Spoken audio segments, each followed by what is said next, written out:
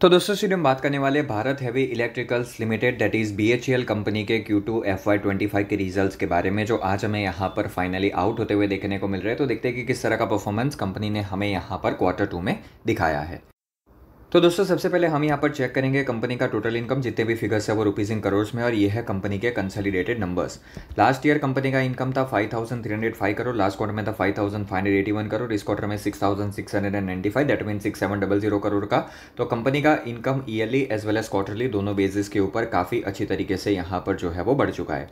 Total expenses last year 5,500 crore last quarter में 5,800 करोड़ इस quarter में 6,500 करोड़ के तो खर्चे भी कंपनी के रेशनली जो है वो क्वार्टरली ईयरली दोनों बेसिस के ऊपर बहुत ही ज़्यादा बढ़ चुके हैं।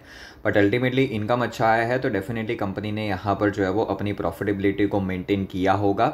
लास्ट ईयर कंपनी के अकाउंट्स में 63 करोड़ का लॉस था लास्ट क्वार्टर में 211 करोड़ का लॉस और इस क्वार्टर में 106 करोड़ का प्रॉफिट है तो कंपनी लॉस में से अगेन क्वार्टरली ईयरली दोनों बेसिस के ऊपर प्रॉफिट में आ चुकी है। EPS last year negative last quarter में भी नेगेटिव और इस क्वार्टर में आपको पॉजिटिव देखने को मिल जाएगा।